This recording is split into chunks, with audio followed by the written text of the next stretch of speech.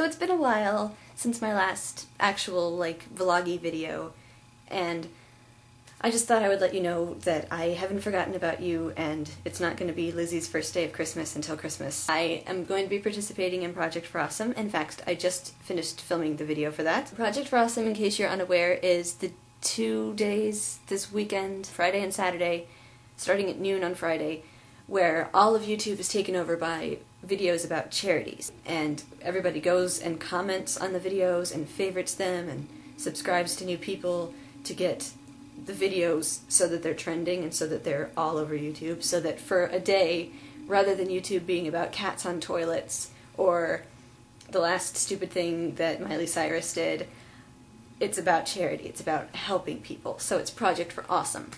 The videos around YouTube will have screen caps that look like this. So I just did a video for that. So that'll be here on Friday, in case you're interested in seeing what my video is. But do be sure to check out YouTube that day and comment, rate, favorite, all that good stuff. And there will be all sorts of other exciting things happening that you might want to be staying tuned for. So basically, don't have any plans this weekend because you're going to be, um, you're going to want to be on YouTube. I will stick an annotation here to a video that Hank just made. And um, so you can go watch that and find out a little bit more about it because Hank, Hank and John are a little bit more knowledgeable than I. But yes, I just wanted to let you know that that is what is up and that I'm not forgetting about this channel or anything like that.